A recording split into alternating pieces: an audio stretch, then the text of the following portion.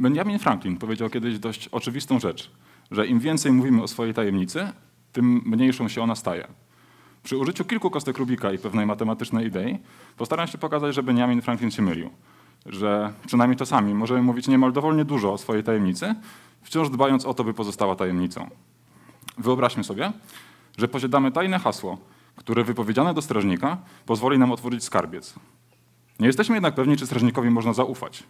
Czy możemy jakoś udowodnić mu, że znamy hasło, jednocześnie mu go nie podając?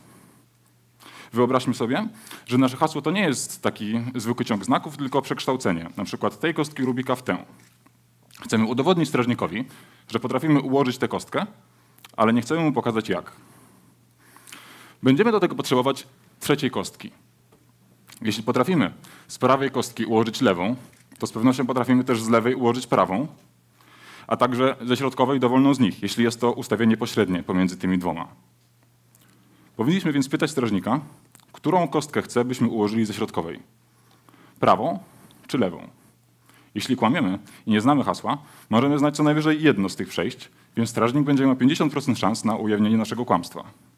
Jeśli więc powtórzymy ten proces na przykład 10 razy z różnymi kostkami, prawdopodobieństwo, że nasze, nasze kłamstwo zostanie nieujawnione, spadnie do 1,1%. Idea polega więc na tym, by za każdym razem podawać jedynie część informacji, w taki jednak sposób, by tych części nijak nie dało się złożyć w całość, żeby nasza tajemnica pozostała tajemnicą.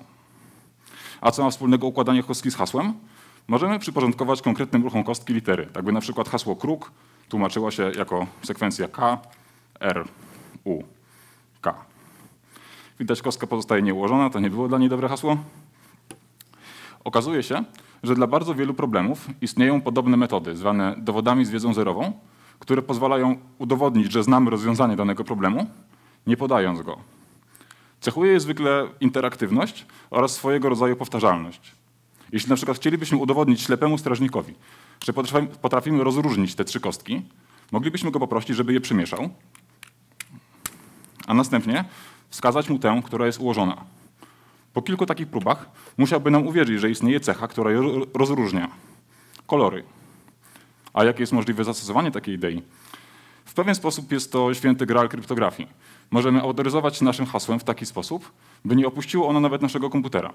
Co jest szczególnie ważne na przykład w przypadku cyfrowego podpisu, który chcielibyśmy zostawiać w bardzo wielu miejscach i nie chcielibyśmy, żeby inni ludzie mogli się też nim podpisywać.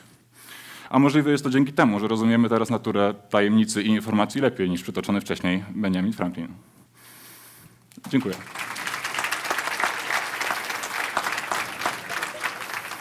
I jeżeli macie godzinę. To było kłamstwo, ale pan Gongol się nie Chyba pozna. za mało, nie? Zrozumiałeś? Zrozumiałem, że używanie cyfrowego podpisu będzie bezpieczne.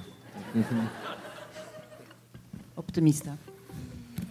Nie, nie, nie, to, to e, oczywiście to było takie prowokacyjne. E, e, Dobrze, że panu po pierwsze nic nie wypadło. Myślę, że były tutaj, były tu, tam na początku był taki trudny moment, ale później były te wszystkie elementy, czyli Na końcu też był. By- Był mechanizm, był, było zastosowanie, tak? było, było tłumaczenie, więc e, mnie się, e, mnie się to podobało, że, że nie zapomniał Pan o tym, e, co Pan robi, tak? po co Pan to robi i, i, i na czym to polega. Tak? Więc ja rozumiem, że to, było, że to było w skrócie, ale ja sobie zapamiętałem to, co Pan powiedział i potem w domu sobie to powtórzę. Bardzo się cieszę. A, a dlaczego, a dlaczego mm, gdybyśmy kłamali, Mhm. to byśmy umieli drogę w jedną stronę przynajmniej. E, na pewno byśmy nie umieli dróg w dwie strony. Gdybyśmy znali drogę z tej kostki do tej Tak. oraz z tej do tej, to moglibyśmy sobie je złożyć. I Nie, to jest jasne, tak, ale dlaczego, y, gdybyśmy nie znali tej drogi w ogóle, Oczywiście moglibyśmy to nie znać- przynajmniej jedną byśmy mieli. Nie, nie, możliwe, że nie znalibyśmy żadnej. Wtedy strażnik z pewnością odkryłby nasze kłamstwo od razu. W takim najlepszym dla nas wypadku miałby 50% szans, że, że odkryje kłamstwo. Czy umie pan ułożyć kostkę Rubika? Nie, nie, nie umiem.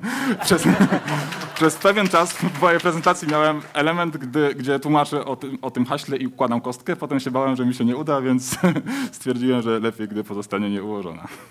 E, Ale rozumiem, że jest pan w stanie ułożyć algorytm, który mm, układa kostkę na czas. Tak, myślę, że tak. A, a, a, taki algorytm, jak ma pan dwa jajka, surowe y, i stupiętrowy budynek. Dwojajko i supiętrowy budynek, tak? Tak. I teraz chodzi o to, że pan ułożył algorytm, tak żeby w najmniejszej ilości ruchów dowiedzieć się, jakie jest najwyższe piętro, z którego można zrzucić jajko, tak żeby ono jeszcze nie pękło. Można to zrobić tak. Jak się ma jedno jajko, to jest easy, nie? To się wchodzi coraz wyżej i jak już pęknie, no to trudno. E, można to zrobić tak, by zrzucić. Gdybym miał dowolną ilość jajek, to wiem. Mamy godzinę, spokojnie. Nie denerwuj się. Nie, nie, bo ja nie rozumiem pytania. w ogóle, nie? Jacku, no nikt nie zrozumiał tego pytania, ale siedzimy cicho, bo wiemy jak się zachować. Wiem, jak to jest. Ja ci e, to potem wyjaśnię. W trzy minuty. Wiem, jak to jest w przypadku, gdy mamy więcej niż dwa jajka. Wtedy możemy zrzucić najpierw z samej góry. Gdy się okaże, że jajko się rozbiło, no to jednego jajka już nie mamy, ale wyko- wykorzyst- wykorzystaliśmy tylko jeden ruch. Mamy dwa jajka, nie? To jest proste. To wszyscy zrozumieli. Zrozumiałeś, Jacku? Dwa? Tak, dwa jajka, tylko dlaczego one mają pękać? Tak No to myślę, że możemy najpierw zrzucić z połowy. Jeśli się rozbije, to znaczy, że to za wysoko i wtedy drugie jajko wykorzystujemy, żeby po piętrze iść od dołu. To znaczy najpierw pierwsze piętro, potem drugie, trzecie, czwarte, piąte. Jeśli się natomiast nie rozbije, to wciąż mamy dwa jajka. To jest nieźle, ale to nie jest optymalny algorytm. To, To nie znaczy, powinno być podobno połowa, nie to powinno dostałby być- się pan do Google. Powinno być coś innego niż połowa, ale, ale aha, algorytm aha. myślę, że powinien wyglądać tak. To powinno być coś mniejszego niż połowa. To powinno, teraz bym powiedział matematycznie, to jest 1 nad e, ale nie jestem pewny. No, no, no, no, nieźle. Dobra, ale po co iść z jajkiem na górę? No? Jacku, była o tym mowa. Jeden Na, na, na E, górze to jest to proste. urządzenie, y, które gotuje żółtka, nie gotując białe.